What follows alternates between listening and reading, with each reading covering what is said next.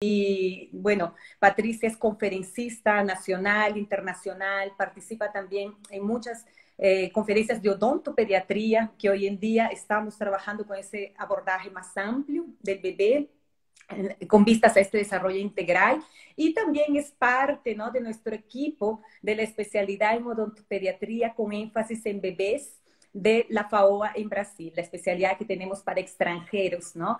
Y ella contribuye pues muchísimo con esta visión más amplia. Sí, Patricia, bienvenida una vez más a la live.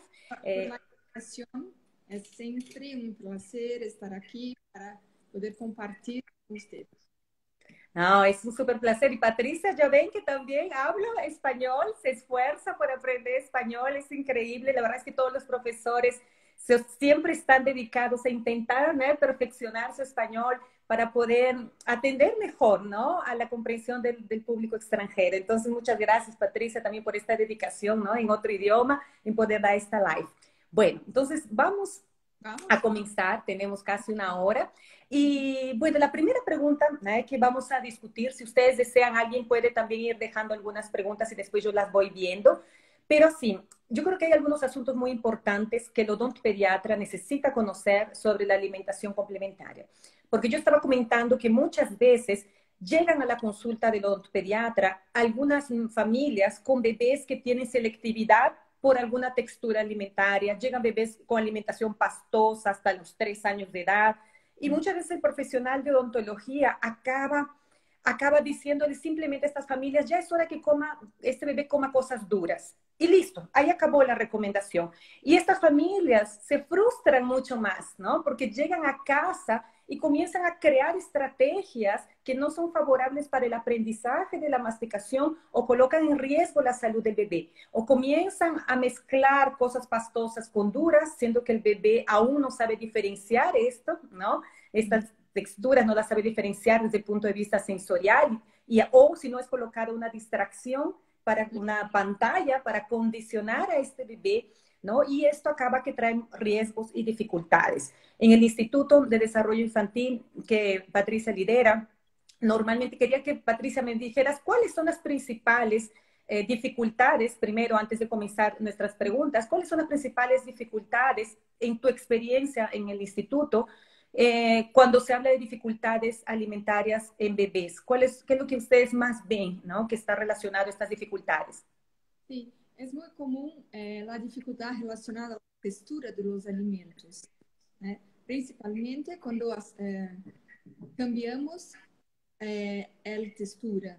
Entonces, si, si, empezamos con emplastados hasta seis meses, después tenemos que progresivamente eh, ayudando a los bebés eh, introduciendo nuevas texturas. Y muchos bebés pueden tener alguna dificultad nesse cambio. E o que disse é muito importante. Por quê? Porque muitas vezes, quando pensamos em la pensamos somente, em la questão motora, em los exercícios, em los músculos, em los dientes pero muchas veces no nos de la importancia del aspecto sensorial. Es muy, muy importante entendermos que el sensorial guía el motor. Verdad. Patricia, Patricia, solo un favor, creo que no se escucha muy bien tu audio, no sé si estás con, con los datos móviles o con el wifi. Tal vez dejarlo, déjame ver.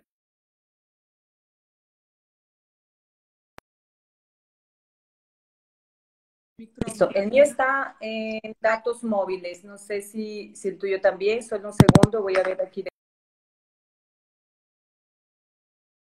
Intenta dejarlo en datos móviles para ver si mejora. A ver. Ahora. No, no, no, me, no te escucho. Ahora sí, se escucha mejor. No sé qué pasa, pero que no, no. ¿Y a Patricia ahora? Ya te escucho mejor, Patricia, te escucho mejor. No, no, pero puedes, puedes, puedes, puedes hablar un poquito para ver cómo va. ¿Está mejor ahora? Sí, yo creo que ahora sí. Es que estaba cortando, estaba cortando, pero ahora yo creo que está mejor. No sé si fue el wifi, tal vez dejarlo en, el, en, el, en datos móviles, no sé, vamos a ver. Sí, disculpa Patricia, continúa. Estamos hablando sobre esta parte sensorial, ¿no? Que la, que, que la textura, esta parte sensorial es lo que guía la respuesta motora, ¿no? Sí, porque si, si apenas pensarmos en los dentes de los músculos, vamos a esquecer la parte sensorial. Muchos niños eh, con dificultades alimentares, los alimentos eh, en, en pedazos más sólidos, porque no tienen una boa discriminación Y muchas veces el odontopediatra no conoce, no, no, eh, no... Escucha bien. Ajá, espérame, para mí se, se, está cortando, no sé si para las personas también se les está cortando. Si alguien pudiera eh, avisarnos si se le está cortando el audio a Patricia o si le escuchan bien. Nos avisan para ver si el audio, vamos a ver si... Ahora. Vamos a ver, vamos a ver. Habla un poquito más, habla un poquito más para ver si mejora. Eh, entonces, es muy importante que el odontólogo sea más claro. Yo creo que ahora sí, está mejorando, que se estaba cortando bastante. Habla un poquito más y vamos a ver. A ver, vamos a dejar que hable un poquito y vamos a ver si se corta. Entonces, estaba hablando sobre el aspecto que muchos odontólogos no conocen, no, no conocen, no conocen. Pero meu estou ainda empezando sí. a estoy... Sí, Patricia, no, realmente se está cortando mucho. La mayoría está diciendo que se está cortando el audio de Patricia, ¿cierto? Lo que te voy a pedir de Patricia es salir, entrar de nuevo con datos móviles, tal vez el wifi está inestable, dejar con los datos móviles ¿no? y entrar de nuevo porque se está cortando bastante. Norman, ¿se le corta solo a Patricia o también se me corta a mí? Solo para saber. Si pudieran decirme si se le corta solo a Patricia o también a mí, para ver si volvemos. De la doctora Patricia. Perfecto, ya. Vamos a ver que se conecte de nuevo. Ok. Bueno, vamos hablando sobre Patricia, lo que estaba comentando, es que realmente, ¿no? Muchas veces la familia o el propio dentista no entiende qué es la textura ¿eh? que es esta parte sensorial, lo que va a guiar la respuesta motora para el aprendizaje de la masticación, ¿no? Los movimientos que se van a realizar en boca son guiados por la textura del alimento. Entonces, si este aprendizaje de las texturas es algo progresivo, es algo gradual, ¿no? El, el bebé no aprende a masticar de la noche para el día, no es un evento, ¿no? Eh, que, que ocurre de un día para otro, es algo que se aprende, se va construyendo, ¿sí? Y ese aprendizaje es por medio de las texturas alimentarias que, al que este bebé está expuesto a partir de los seis meses de edad, cuando se inicia esta alimentación complementaria y este bebé es expuesto gradualmente, ¿sí? Entonces, muchas veces, ¿no? Lo que las familias hacen es intentar engañar al bebé cuando él está frente a una dificultad para progresar en estas texturas, porque nunca fue expuesto a esta progresión gradual. Y muchas veces estos bebés, la familia intenta engañar mezclando algo duro con algo pastoso, pero este bebé no sabe cómo discriminar sensorialmente esto en boca, ¿no? No sabe cómo hacer esta discriminación porque nunca la aprendió, nunca aprendió a discriminar textura por, por textura para que una vez sepa qué hacer con diferentes texturas en boca. ¿sí? Este es un aprendizaje gradual. Entonces, esto es importante y también reconocer qué otros factores están envueltos en este aprendizaje, la masticación. Porque como Patricia mencionó, no es solo algo motor, es algo sensorial y es lo que poco se conoce, ¿no? Este aspecto sensorial en el aprendizaje de la masticación. Y ella va a explicar un poco sobre también esta parte sensorial, ¿no? Entonces sabemos que la masticación no es innata, no es algo con el que lo que el bebé nace, sino es una actividad sensorial, motora y oral aprendida, ¿cierto, Patricia? Si no se enseña, no se aprende. No es algo que se corrige con la edad, que muchas veces se piensa, ah, no, cuando crezca va a comer mejor. Muchas familias piensan esto, cuando crezca comerá mejor, pero no, ¿no es cierto? Patricia está hablando que lo que corrige esta, esta masticación, este aprendizaje es la textura del alimento, ¿no? Esta parte sensorial. Entonces vamos, Patricia, vamos a ver si ahora mejoró el audio. Vamos, vamos, vamos. Porque é, é importante entender que é, el aprendizaje alimentario empieza desde mucho cedo. Desde muy temprano, exacto. Muy temprano. Entonces, todos los requisitos que necesitamos ¿eh? son muchos muy importantes para todos los bebés para que puedan a, a masticar, a desarrollar todas las que son importantes para que el bebé comer. Entonces, eh, cuanto más mejor. Cuanto más, muchas veces los odontólogos van a ver los bebés desde el fonoaudiólogo. Entonces, es muy importante que ese odontólogo saiba las primeras, las questões relacionadas. Entonces, tiene que saber muchas veces que eh, el parte sensorial todo, no apenas de la Sí, Patricia, aún se corta un poco. No sé si puede ser tal vez en otro ambiente. No sé si la, si la, eh, a pesar que estás con los datos móviles, ¿no? Sí, estoy con datos móviles. Sí, porque se escucha mal, se está cortando mucho. Tal vez en, en otra área de, de donde estás, en otro cuarto, en otra, si, si quieres siguiendo, porque se corta mucho, realmente se está cortando mucho. No se escucha muy bien. Bueno, yo voy explicando aquí lo que Patricia estaba diciendo, ¿no? Que es importante entonces que este bebé tenga experiencias sensoriales previas. Y cuando hablamos de experiencias sensoriales previas, esta alimentación complementaria en bebés a término se inicia a los seis meses de edad, porque a esta edad, a los seis meses, este bebé ya, eh, cortando el mío también, ¿se me corta a mí también o el mío está ok? Solo para saber.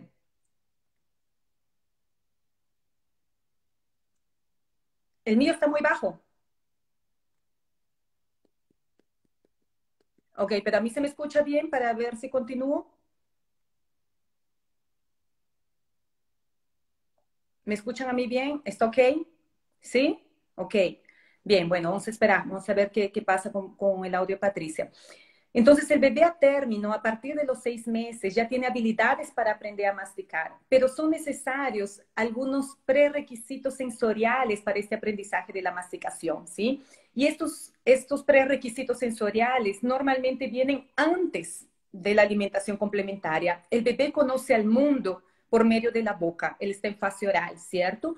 Entonces tenemos muchos propioceptores sensoriales en boca. Y cuando el bebé pone manos en boca, mordedores en boca, antes de estos seis meses, estos mordedores, independiente que este bebé eh, vaya a iniciar el proceso de erupción, independiente de esto, con unos cuatro o cinco meses, es importante que use mordedores con diferentes consistencias, con diferentes texturas, que son ranuras diferentes, ¿sí? Porque esto, este, estas exploraciones sensoriales, el bebé mordiendo, genera registros de memoria. ¿sí? El bebé lleva estas informaciones sensoriales aquí, al sistema nervioso central, y él va teniendo respuestas motoras de mover labios, lengua de forma más activa. Y esto es aprendizaje. Estos son prerequisitos sensoriales que van a contribuir con la alimentación complementaria. Son conocidos como, es conocido como estimulación sensorial de la cavidad oral. Y muchas veces siempre decimos, ¿cuál es el problema de una tetina? Por ejemplo, un chupete. Si el chupete está continuamente en la boca de este bebé antes ¿no? de esta fase de alimentación complementaria, el bebé pierde parte de estas experiencias sensoriales, ¿sí? Entonces, él deja de tener experiencias sensoriales que van a contribuir con su aprendizaje. Y no es eh, por las puras que ya hay estudios estudios longitudinales mostrando que el chupete, por, con un uso de más de seis meses de edad, impacta negativamente en la función masticatoria. Niños que usan chupete, por ejemplo, mastican peor, ¿sí? En la fase preescolar, porque muchas veces se pierden estas experiencias sensoriales a los cuales este niño debía tener contacto antes. Patricia, vamos a ver cómo, cómo está. Intenta conversar. A mejor ahora. Creo que sí. ¿Escucha bien? ¿Bien? Parece que sí. Ya te escucho, yo te escucho un poco mejor, espero que, que vaya bien, vamos a ver. Vamos, vamos a ver. Eh, estábamos hablando sobre la importancia de la eliminación y que eso no es apenas de la parte de todo el cuerpo. Algunos niños, principalmente bebés prematuros, pueden tener una alteración de todo el proceso que los dificulta las texturas, los dificulta con la, la de su cuerpo, con alguna, con alguna hipersensibilidad auditiva, ¿eh? con dificultad con los olores. Entonces, no, no es solo la boca, no adianta suficiente que eh, ejercicios o que orientem apenas os padres. É importante identificar qual causa que o niño não está afetando texturas e não eh, empieza a masticar. Então, primeiro, é importante checar. Algumas perguntas que são importantes para que os odontopediatras possam fazer é se o bebê leva as mãos humanas à boca, na boca, se eh, le gusta poner algún juguete como este, son juguetes orales y muchas veces ayudan al bebé a desarrollar todo este proceso sensorial oral. Y cuando tú preguntas, ¿eh? Eh, leva las, las, manos a su boca, acepta eh, juguetes o mordedores orales. No, no, no. Gusta y hay, muchas veces los padres dicen, oh, y, y nos, nos, nos, nos gostamos que isso aconteça porque é melhor, mais higiênico. Pero tem que explicar que é muito importante. Pero os bebês que têm já alguma alteração sensorial vão evitar esse tipo de experiência, de vivência oral. Então, essas pergu perguntas são muito importantes de, de, eh, de los odontopediatras eh, saberem para poder eh, entender a complexidade de todo desarrollo del desenvolvimiento. Sí.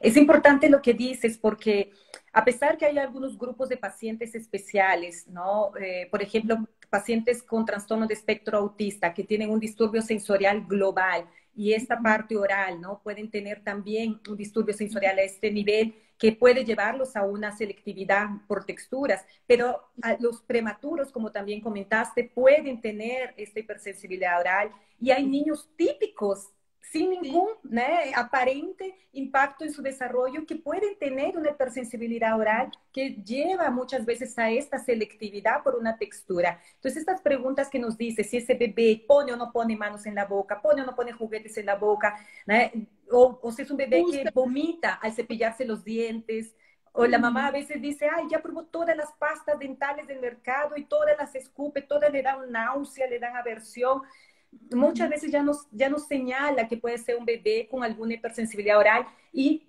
tendríamos que derivar a este paciente a un especialista, ¿cierto? Integración sensorial para que haga una evaluación más detallada, porque inclusive el tratamiento odontológico va a ser una tortura para este paciente. El propio tratamiento, evaluación a nivel oral, ¿no? No solo la dificultad en tener texturas diferentes en boca, ¿no? Sí, tenemos muchos pacientes con mucho tártaro, tártaro y con más higienización porque no le gusta eh, cepillar los dientes, porque le es muy, eh, no es cómodo. Exacto. mucho más do que apenas eh, gustar o no. Es una dificultad. dificultad. Exacto. Y esto es importante, que muchas veces el profesional puede ver esto como algo eh, muchas veces cuando no conoce esta parte sensorial piensa que el bebé es bañoso, que el bebé no, que es el comportamiento del bebé. Cuando la verdad el comportamiento está asociado a menos de 20% de, los, de las dificultades alimentarias, ¿no? Y es una parte sensorial que es poco eh, evaluada por los profesionales, mucho menos por el dentista, ¿no? Y que tenemos que estar al pendiente también. El chupete, alguien preguntó aquí, el chupete trae impactos negativos ¿no? para la función masticatoria. Hay estudios, como comenté, longitudinales mostrando que el uso de chupete por más de seis meses de edad ya impacta negativamente en la masticación en la fase preescolar. El bebé mastica menos, tiene menos porque explora menos sensorialmente. Él está todo el tiempo con un un dispositivo en boca y evita estas experiencias con mordedores, con manos y todo más, que son extremadamente favorables, a pesar que a muchos padres no les gusta, como dijiste, pero es extremadamente bueno para el bebé, ¿no? No caso do chupete, del chupete, es eh, la frecuencia, la intensidad siempre tienden, tienden a eh, de, dejar los casos más complicados, más complejos, porque también a, a, comprometen el tonus muscular. Exactamente, comprometen tonos, claro, nos lleva una, las tetinas nos llevan a una hipotonía, mayor riesgo para hipotonía orofacial, lo que ya dificulta, ¿no? Esta fuerza, por ejemplo, para lateralizar el alimento de, de, textura más consistente, ¿no? No hay fuerza en las mejillas, en la lengua para este movimiento de lateralización frente a una textura más fibrosa, ¿no? La respuesta motora enviada traba porque no hay condiciones, no hay estructuras orales adecuadas, ¿no? Y sobre estructuras orales adecuadas, también es una condición también importante en este aprendizaje de la masticación y tiene todo a ver con nuestra área. Es un aspecto, un factor funcional, ¿cierto?, del paciente que todo pediatra debería evaluar cuando se encuentra frente también a un bebé que aparentemente tiene una selectividad por una textura ya con una edad avanzada. Se tiene que explorar esto porque hay condiciones en boca que nos llevan a estas dificultades por ejemplo, maloclusiones, ¿sí? Mordida abierta anterior, ¿eh? mordida cruzada anterior, no hay cómo rasgar, no hay cómo cortar un alimento con una mordida abierta, y esto también está asociado al uso del chupete, ¿no? Una mordida cruzada posterior unilateral lleva a una masticación unilateral, ¿no? También tenemos anquiloglosias, por ejemplo, estas anquiloglosias más graves hacen con que esta lengua esté presa. No hay movimiento, es solo movimiento vertical. No consigo lateralizar. Y esta es función del profesional, ¿no? del odontopediatra, ver que todas mis estructuras estén adecuadas tengo una hipotonía, pues yo voy a derivar a este paciente a una fonoaudióloga que trabaja con motricidad oral porque necesito un trabajo para mejorar esto aquí, para ver si este paciente es respirador bucal, necesito derivar a un otorrino también. Tengo mordida cruzada, mordida, eh, mordida abierta anterior, pues si mordida abierta anterior siempre digo, es más fácil, es solo remover el chupete para promover ese cierre, pero tengo mordida cruzada posterior, unilateral, tengo mordida cruzada anterior, pues son condiciones que necesitan de ortopedia. De lo contrario, esto dificulta ese aprendizaje. Tengo una anquiloglosia que realmente me está llevando a no conseguir esta respuesta motora de lateralización, pues lo voy a ver con una fonoaudióloga para ver si hay necesidad de hacer intervención con una frenotomía ¿no? Entonces, cuéntanos sobre estas estructuras orales. ¿Cuánto que estas estructuras orales, en tu experiencia clínica, porque para esto no hay realmente estudios, ¿no? En cuánto que esas estructuras orales impactan en las dificultades alimentarias, pero sabemos que impacta. Hay hasta un único estudio mostrando que las oclusopatías llevan a peor función masticatoria, esto sí hay, pero hay poco de esto en la literatura. Entonces, cuéntanos en tu experiencia en el instituto, que realmente ustedes en Brasil son los líderes, pioneros en esto. ¿Cómo impactan estas estructuras orales? ¿no? ¿Cuánto impactan ¿no? en, la, en el aprendizaje de la masticación? Sí, las estructuras orales son fundamentales para todo el desarrollo alimentario. Empieza con la succión, porque necesitamos de un frenillo de, de lengua adecuado, para que el bebé pueda uh, succionar uh, adecuadamente. Entonces, desde el principio, de la, desde el inicio, es muy necesario todas las estructuras orales. La, uh, y de, después, além da succión, que va a promover el desarrollo de la mandíbula, de las estructuras musculares orales que van preparar todas as outras funções. Então, depois, eh, precisamos muito estimular a boca com os estímulos, com os juguetes adequados, para que quando empezarmos a mastigação, o bebê já conheça, já recorde de todas as vivências, porque quando eh, eh, passa a língua pelos juguetes, hay todo un registro en su mente. Entonces, cuando empieza a aceptar texturas diferentes, es más fácil porque ya reconoce que tuve esa experiencia. Entonces, es mucho más fácil para el bebé. todos los movimientos de la lengua, la succión en canudo. Sí, en pajita o en popote, sí. Todos los todos treinos orales naturales em suas funções são importantes. Não, nunca esquecer é, e é, deixar de recordar sobre a importância da respiração oral. A respiração oral é o mais importante muitas vezes porque quando não temos uma, uma respiração adequada, des, é, é, prejudicamos todo o sistema oral. Os lábios, as mejillas, todas as situações, o palato, tudo isso precisa ser é, observado. E a mastigação totalmente é, modificada por essas é, estruturas orais. Como disse, se tem, muitos niños chegam ao instituto e os padres dizem, de, hablo, meu hijo no, no, nuestro hijo no, no le gusta masticar nenhuma proteína. Pero quando vamos eh, mirar o niño, tem uma mordida cruzada anterior. Não le pode mover a mandíbula e também com isso não se pode aceptar texturas mais pronunciadas. Então, nesses casos, muitas vezes encaminhamos e depois continuamos a trabalhar. Por quê? Porque o ninho é, está acostumado com essa textura mais empacada, mais uh, líquida. Então, depois de descruzada a mordida, é importante porque criou uma seletividade. Exatamente. Criou a seletividade. Então, diga, não, não lhe gusta, porque não sabe, não conhece por quê. Porque é difícil. Sí, esto es extremadamente importante, ¿no, Patricia? Porque muchas veces el profesional piensa, ¿no? Ok, yo detecté que hay una estructura oral inadecuada que está dificultando ese aprendizaje de la masticación, me está impidiendo que este bebé rasgue un alimento, corte un alimento, ¿no? Y, y o en fin, o consiga lateralizar la lengua porque tengo una, una anquiloglosia, ¿no? Grave que no me permite esa lateralización, o tengo una mordida cruzada posterior unilateral que me lleva a una masticación unilateral. Y muchas veces el profesional piensa que solo corrigiendo, o sea, la corrección, la intervención es necesaria. Yo tengo que entrar con ortopedia funcional de los maxilares para corregir estos problemas oclusales. Tengo que ir muchas veces a hacer una frenotomía cuando tengo esta dificultad.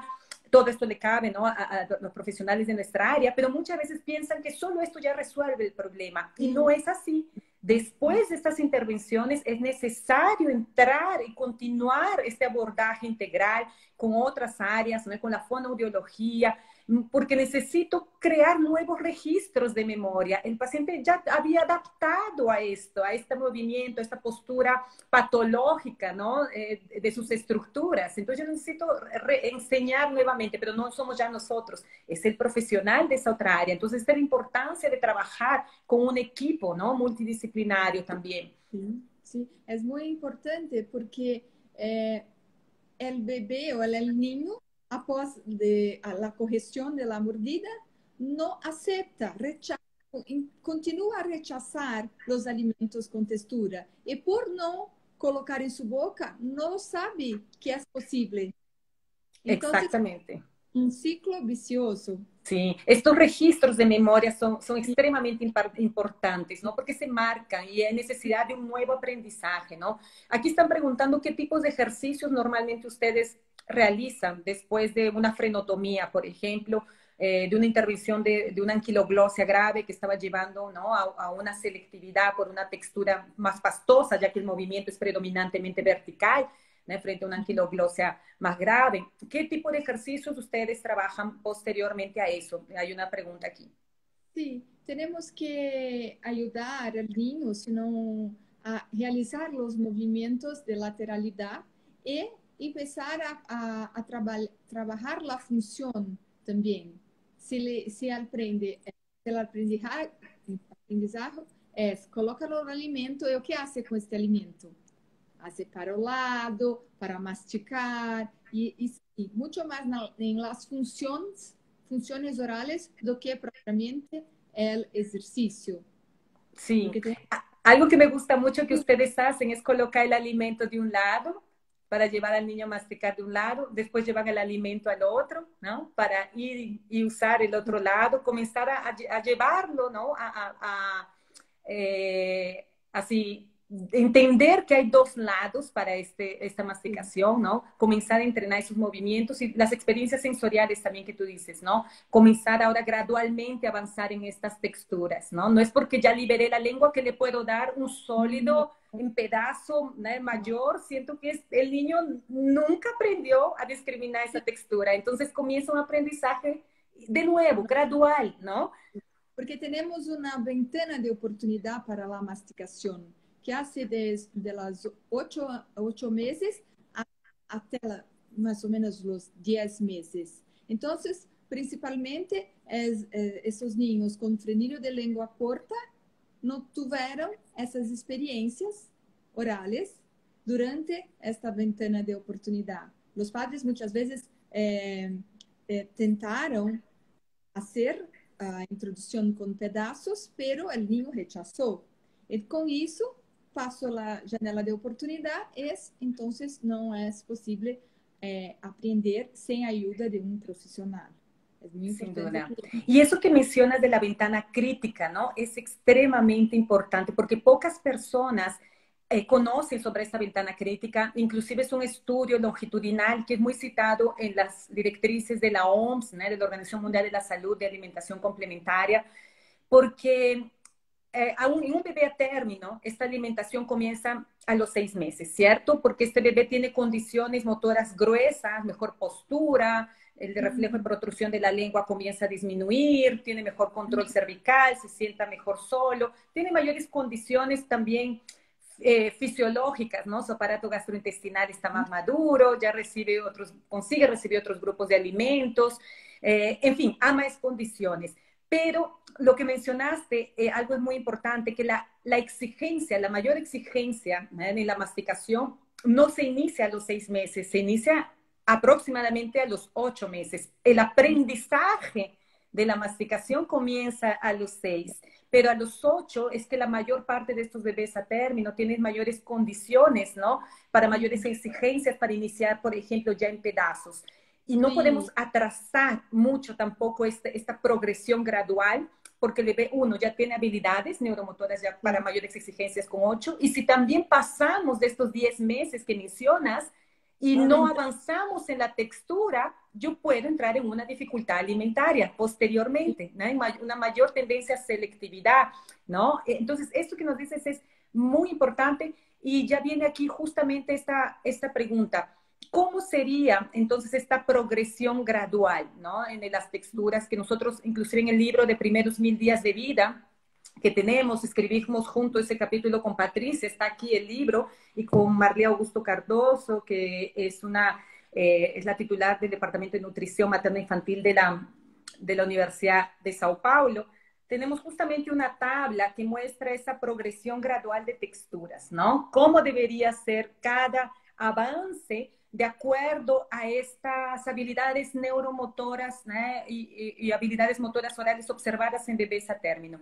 Entonces, explícanos por qué progresión gradual, ¿no? Eh, y por qué también no pasar de estos 10 meses, entonces, en este avance, ¿no? O sea, no dejar el pastoso o el pastoso grumoso, ¿no? más heterogéneo, que pase de estos 10 meses, ¿no? Porque entramos en dificultad alimentaria.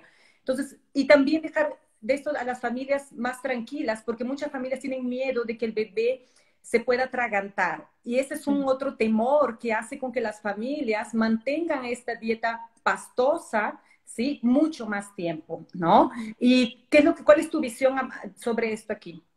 Eh, empezamos siempre con eh, los alimentos emplastados, porque no es apenas la edad eh, son las condiciones motoras orales que direccionan la aceptación o no, o no de los alimentos. Muchas, muchas eh, personas, oh, tiene dos años, tiene un, un, año y tiene que mastigar. No, porque tenemos que, en la tabla del libro está muy, muy bien explicado, porque puede, puede, eh, el bebé puede tener ocho meses, pero ainda no mudó el padrón motor oral, porque primero el bebé movimenta la, la lengua adelante.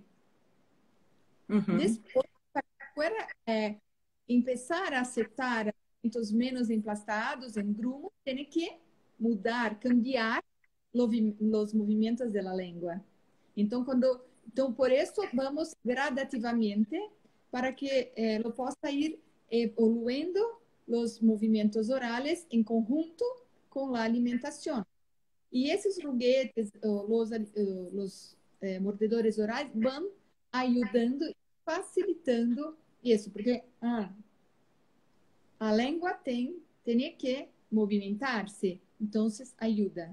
Depois, eh, entre, entre, eh, começamos com o que eh, chamamos de sólidos fundíveis. São sólidos como os vegetais cocidos, que, que podem ser emplastados com eh, a língua quanto o palato, que é muito tranquilo, pero já exige o movimento de lateralidade da língua. ¿sí? Depois, necessitamos evoluir esse movimento para que empezamos a realizar os movimentos de rotação mandibulares. Muitas vezes, quando temos o contato dos incisivos superiores com os inferiores, que dispara lá o movimento da mandíbula completo. E assim, eh, vamos avançando as texturas, deixando mais grumos e depois pedaços. Né? Até Sim. que com, por volta de um, um, ano, um ano e meio, o bebê pueda aceitar a mesma comida de sua casa, de sua família. Não é necessário cambiar. Então, é importante a, é, evaluar se tem condições orais para aceitar.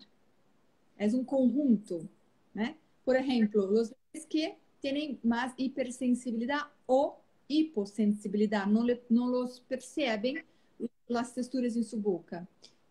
É, mamá introduz uma, um pedaço de sólido fundible, não, sabe, não sabe o que é ter e um, cospe. Escupe, uhum, ele escupe. Escupe o pedaço, né? Sim. A rechaçar, porque não tem a percepção sensorial. Ponemos um alimento na nossa boca e hacemos um raio X, un rayo X. Un rayo X, un rayo, sí, rayos X de todo lo que está ocurriendo, sí. sí. Qual é o tamanho, qual é a textura, qual é o sabor, qual é a dimensão, se necessito masticar mais ou menos.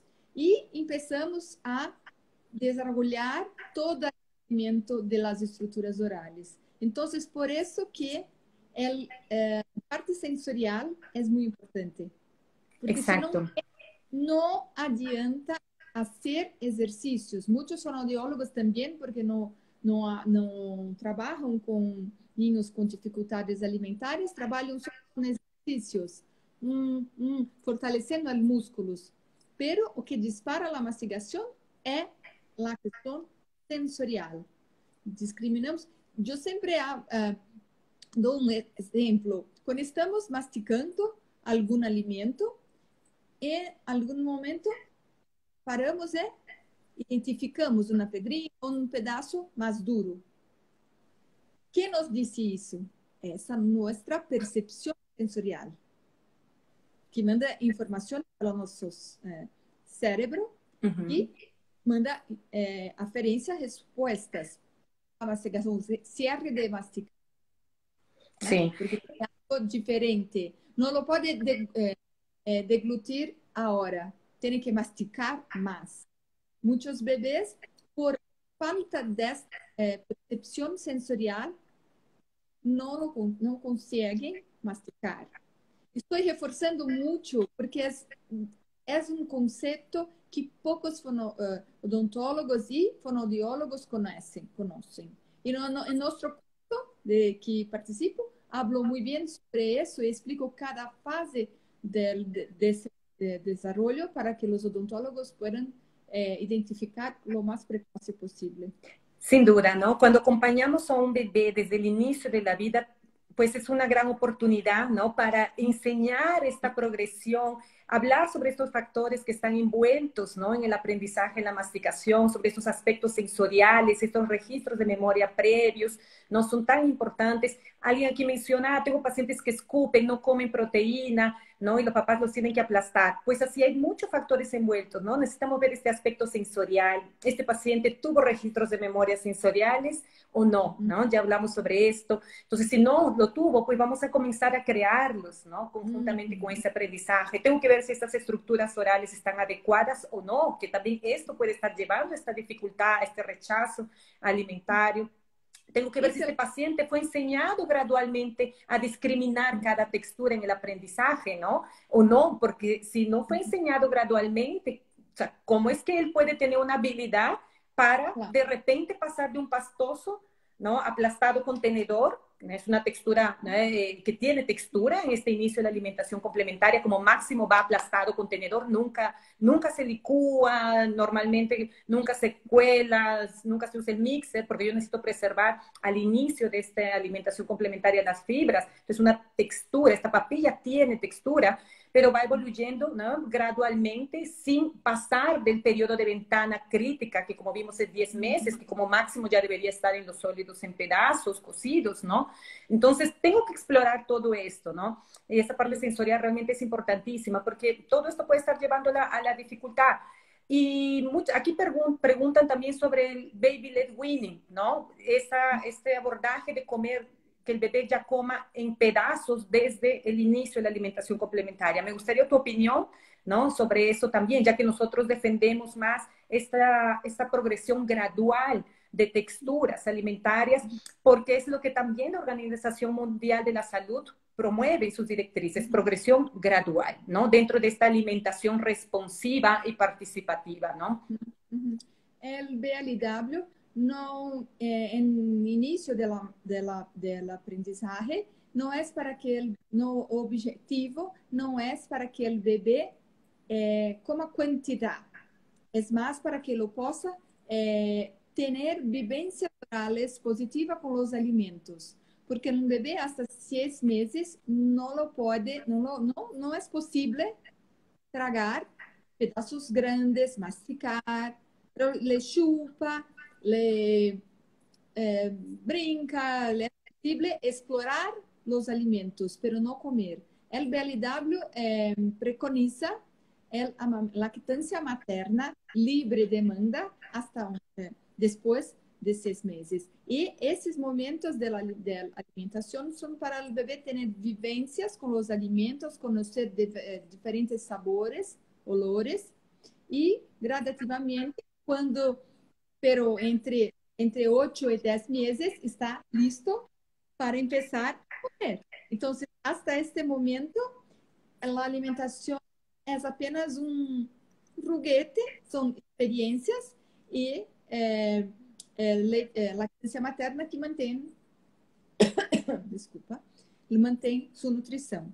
Pero nós outros acreditamos e seguimos el um, consenso de la Sociedad Brasileira de Pediatría, que nos eh, orienta que sí, el bebé es mucho importante eh, tener contacto con los alimentos, pecar, agarrar, sentir olor, deja que os, los padres de, de, dejen ele, tocar, explorar, tocar, sentir, se autoalimentar, estimular cada vez más que el bebé pueda eh, comer solo, pero eh, no apenas con eh, esta vivencia. Sí, exacto. En, en familia, con eh, cucharas adequadas. ¿sí? Entonces utilizamos, yo, yo, yo acredito más en la alimentación participativa y responsiva. La alimentación responsiva es a, a, a dita por los estudios más recientes y por muchas organizaciones, hasta de la, eh, la Sociedad Americana de Pediatría, né, que recomienda alimentación responsiva, que, que principalmente eh, incentiva autoalimentación. El bebé tiene que eh, comer y, y, aprender para que pueda identificar situaciones de hambre y saciedad. Então, claro, é uma ação da madre com o niño, pero há que ter esta uh, oportunidade de que o niño pueda também eh, comer os alimentos desde muito, muito temprano. Por, por exemplo, não, não, não consegue ainda segurar a cuchara, pero pode pesar seu dedo. Porque essas vivências são muito importantes, muito importantes, muito importantes. Sim. Então, para os utensílios, as cucharas, para que o bebê também possa. Hoje em dia, temos muitos tipos de cucharas que muitas vezes facilitam né, que o bebê agarre e pueda solo desde hasta seis meses empezar. ¿eh? Entonces, eh, autonomía de, la autonomía del bebé, esta relación con el niño bebé para que el madre pueda comprender los señales del bebé. Estoy satisfeito, tengo hambre y gradativamente para ayudar al bebé a evitar tanto las dificultades cuanto la obesidad, que es muy frecuente también cuando forçamos, forçamos al bebê a comer, porque eh, eh, nós queremos determinar a quantidade e não deixamos para que o bebê determine. Excelente. Excelente, Patricia. Esto que comenta, solo para dejar claro entonces esta posición sobre el baby led weaning, aún también carece de mayores, de evidencias científicas más robustas, ¿cierto? Hay inclusive una revisión sistemática sobre baby led weaning publicada en 2018, mostrando que aún son necesarios más estudios clínicos aleatorizados en comparación a una alimentación tradicional, desde que esta tradicional sea participativa, responsiva, claro. Entonces, hay muchas controversias aún también desde el punto de vista nutricional. Este movimiento de pinza no está desarrollado en el bebé con seis meses, entonces se tienen que generar estrategias para que este bebé se alimente de una forma, no, solo, porque en teoría es solo. Entonces, así, nosotros trabajamos más con esta progresión gradual siendo que eh, aquello que Patricia comenzó con ocho meses, ya podría estar en, los pedazos, en, en pedazos sólidos cocidos. Entonces, no hay una gran diferencia, siendo que también la mayor parte de organizaciones respaldan esta progresión gradual y responsiva, ¿no? Lo que ella mencionó, participativa, porque el bebé tiene que comer, generar esa autonomía, ¿no? Tanto el adulto como el bebé participan, ambos están activos en, esta, en este aprendizaje pero responsiva, que es algo que falta dejar claro porque muchos profesionales de nuestra área no entienden esta, esa alimentación responsiva. Entonces tenemos que respetar los mecanismos de autorregulación de este bebé, autorregulación en en, con relación al tiempo de alimentación que ese bebé está en aprendizaje, requiere más, a las señales de hambre y saciedad de este bebé, y es lo que más se peca, ¿sí? porque normalmente la cultura latina tiende a querer sobrealimentar al bebé, a darle mucha comida, porque se piensa que comer bien es comer mucho. Y esto no respeta la autorregulación del bebé, ni su capacidad gástrica, que el bebé necesita de pocas cantidades para estar satisfecho, ¿no? Entonces, esta, esta alimentación responsiva es importante. ¿Cómo estoy? Eh, estoy siguiendo estos señales del bebé, estoy siendo paciente, estoy eh, eh, evaluando esta, si se adaptó ya a esta textura antes de avanzar a la siguiente, estoy acompañando gradualmente ¿no? E, este aprendizaje. Y algo que preguntaron aquí es solo de la lactancia materna, preguntaron aquí, la lactancia materna favorece, ¿no? Siempre la alimentación complementaria, ¿en qué sentido? Nos trae registros de memoria motores, porque trabajo músculos de masticación en estos primeros meses, y también sensorial, ayuda mucho, porque hay más sabores en la leche materna que vienen de la dieta de la madre. Entonces, sensorialmente ese niño conoce más sabores ya antes de entrar en alimentación complementaria. Eso que quiere decir, cuando el bebé utiliza una fórmula, es siempre lo mismo sabor. Entonces, cuando eh, permanece con la lactancia materna, cada día el sabor cambia. Entonces es muy, eh, mucho mejor. Eh, y con relación a la alimentación responsiva, algo que es muy importante es que en un prerequisito, un requisito importante, es la motivación intrínseca. El bebé tiene que, eh, nosotros adultos tenemos que ayudar al bebé a tener curiosidad y motivación por los alimentos e não usar nenhuma estratégia para distração, para eh, forçar a alimentação. Não está nos padres a conduta de eh, quanto ao bebê, a quantidade. ¿sí?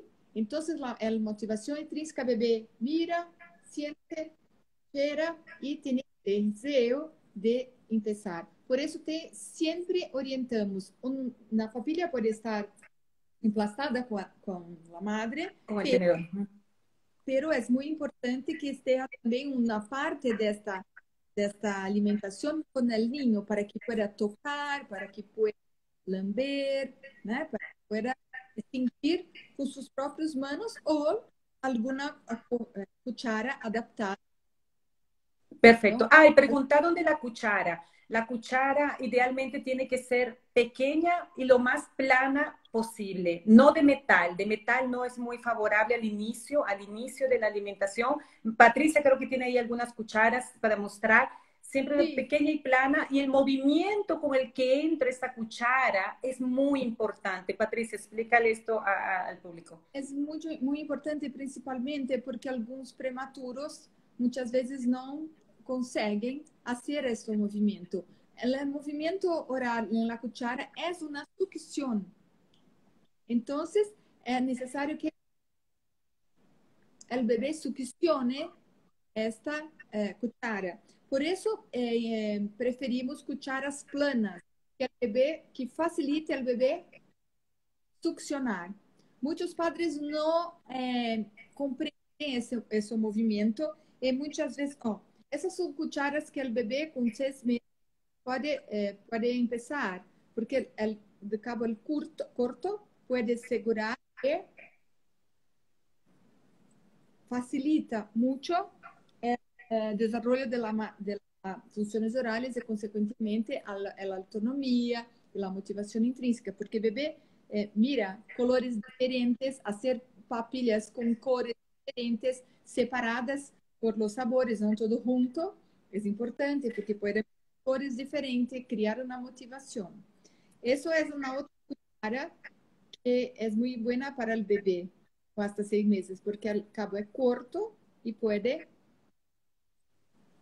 ele pode também oferecer. Então, não é bueno que uhum. este movimento engancho, uhum. né? Sempre hasta el bebê tem que fazer um movimento, nós chamamos de tilt, tilt, em direção à cuchara e sobre a língua, sobre a língua, certo? Entra recto sobre a língua e sale recto. Lengua. É necessário que ela succione, porque ao succionar, naturalmente Miente el movimiento de lengua es correcto. Si hacemos este movimiento, el alimento cae en sobre de la boca. En el piso de boca, exacto. Dificultando el aprendizaje. Entonces, la succión es muy importante en jamás forzar o para que el bebé abra Exacto. Y tampoco limpiarle, porque muchos papás lo que hacen es pasarle la cuchara como para limpiar y esto acaba que no contribuye positivamente, ¿no? No, porque piensen en los bebés que tienen hipersensibilidad o mismo que no tienen, es muy desconfortante. Aversivo, sí. ¿Por qué es importante que, que tenga algún alimento para ver? Ayudar todo ese movimiento. Si se pasa a, a no necesidad de, por sí propio, trabajar. Los movimientos de lengua para afuera, claro, pierdo experiencias motoras, neuromotoras importantes de la propia limpieza. Y esto del movimiento aquí es muy importante porque muchas familias hacen esto del avioncito. Uy, vamos aquí, plum, lo llevan hacia afuera, la cuchara hacia arriba. Esto es muy común de ver, ¿no? O, o, el, o el bebé comiendo abajo y el responsable hacia arriba, o sea, no están eh, en la misma altura y esto favorece que el responsable haga este movimiento que dificulte el aprendizaje del bebé. Entonces, esto que estás diciendo, entrar recto, salir recto, es importantísimo. Cucharas lo más planas es importantísimo porque cuando la cuchara es muy honda, el bebé no succiona el alimento, no sale el alimento, está y parece que nunca sale, ¿no? Entonces es importantísimo. No la cuchara y baje a la lengua, no. Acá el bebé succiona la cuchara naturalmente. Muchas veces eh, eh, olvidamos, ah, coloca lado, coloca... No, a cuchara es delante del niño y ellos tienen que hacerlo el movimiento de cabeza para que pueda eh, succionar. Sí, mira, se nos va a cortar en dos minutos, pero como tuvimos algunas fallas, voy a guardar esta live y entro de nuevo, ¿sí? Por lo menos para unos 15 minutos más que finalicemos esta, esta parte. Entonces, cuando caiga, entro unos 10 minutos más para dar, eh, compensar el tiempo que, nos, que, tuvimos el problema aquí. De, y entonces, esta, esta, información yo creo que es realmente vital. Y a partir, eh, pregunta aquí, ¿a partir de qué mes se puede utilizar ese tipo de cuchara? Desde, de, de, la alimentación complementaria hasta seis meses. Sí, desde el inicio de la alimentación complementaria, sin duda, sí. Ahora también alguien preguntó eh, sobre vaso de transición.